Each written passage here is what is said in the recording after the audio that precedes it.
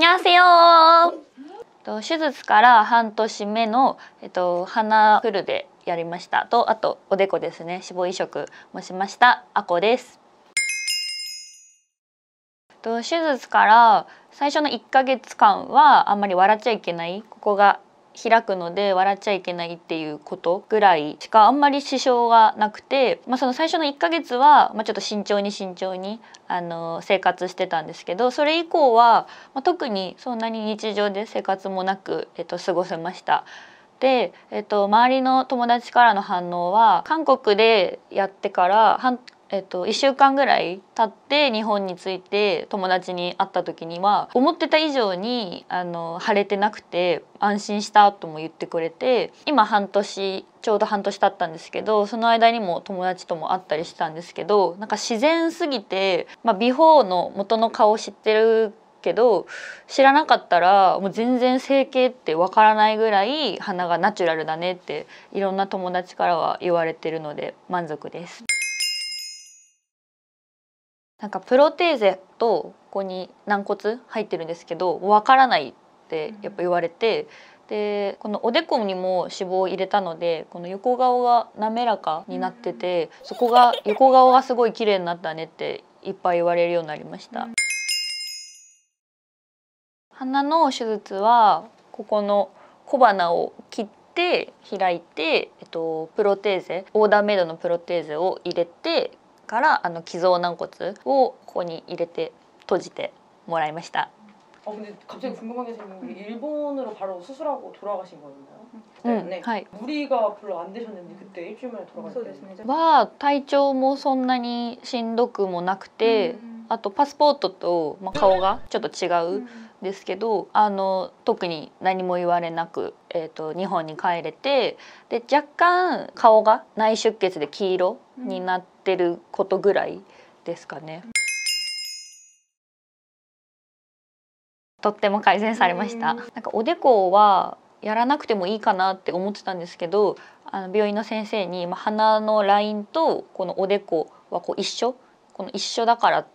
絶対にやった方がいいって言われてそれでお願いしたんですけどやっぱおでこが丸くなってこう鼻が綺麗に見えて全部横顔なんだなっていうのを本当にやってもらってからすごい実感してるので本当にやってよかったです。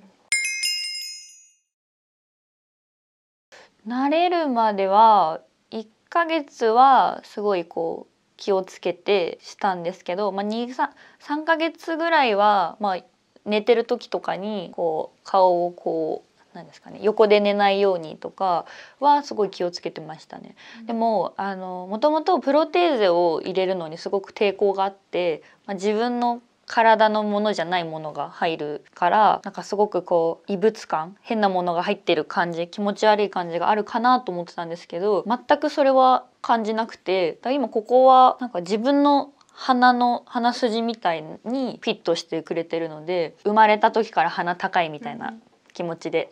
います。顔をあの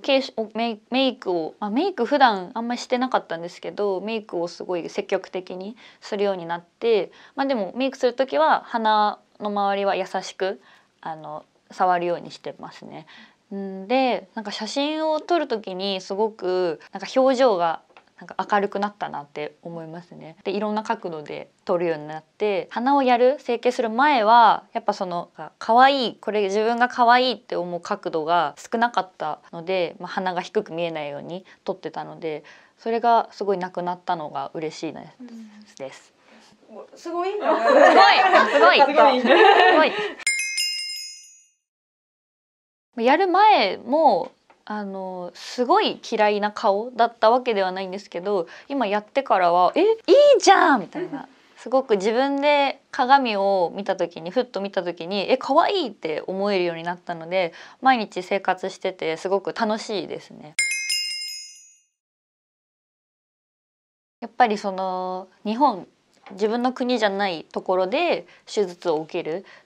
ことにすごくやっぱ飛行機に乗っていくのですごく不安がすごく大きかったんですけどなんか一歩踏み出してみようって決めて一人で韓国に PCR とかもやったりしてなんか来たんですけど病院ももうすごく不安がすごくいっぱいあって正直鼻やんなくてもいいかなってすごい何回もこう思ったりとかはしたんですけど病院の方すごく優しくしてくれてなんか今も可愛いけど鼻をやったらもっと可愛くなると思うよっていうのをすごい後押ししてくれたのでそれでやっぱやろうと思って韓国で来て韓国に来てやりました。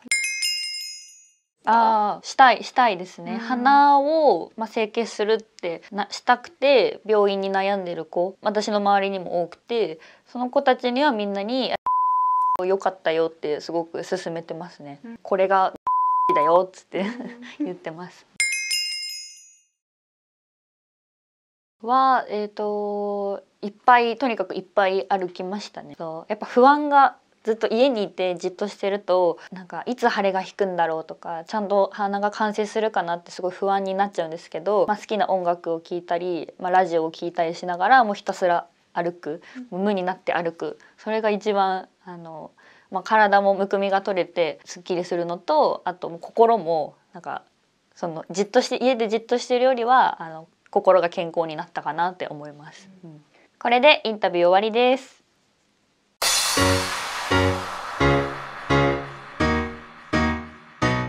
私の話がもっと聞きたい人はビューアプリでアコで検索してください。ハトゥー。ハトゥー。